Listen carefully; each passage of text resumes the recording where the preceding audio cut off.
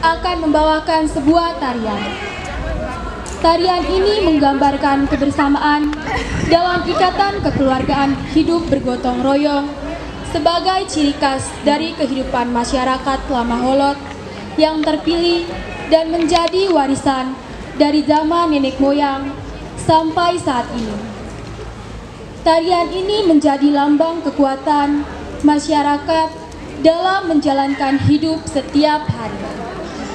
Demikian sinopsisnya. Selamat menyaksikan. Omas.